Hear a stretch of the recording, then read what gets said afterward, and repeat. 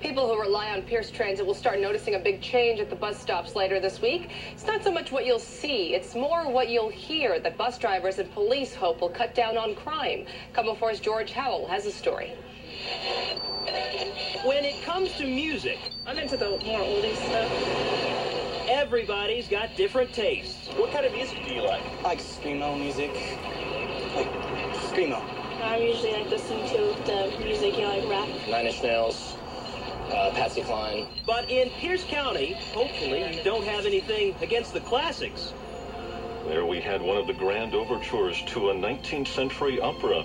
Bach, Beethoven, and Mozart, recruited as Pierce Transit's new gangbusters to deter crime.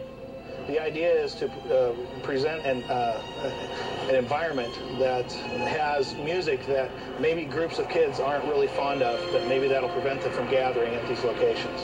It's an idea that seems to work in other cities, so Pierce Transit plans to give it a shot, putting speakers under each of its covered bus stops, playing classical 98.1 24 hours a day. We think it's perfect for like relaxing or unwinding and the commute like that. It's perfect. Maybe not so perfect for the people that are trying to keep away. I think that's really the message. I wouldn't mind. I like classical music. You know, if you play any type of music for 24 hours a day and you're a frequent bus rider, you'd be irritated with anything. If you don't like it, get your iPod or MP3 player ready because starting Thursday, Beethoven may be playing at a bus stop near you. Reporting in Pierce County, George Howell, KOMO 4 News. As George mentioned, Pierce Transit plans to start installing speakers this coming Thursday. Their first test site will be the Bus Transit Center located just south of the Tacoma Mall.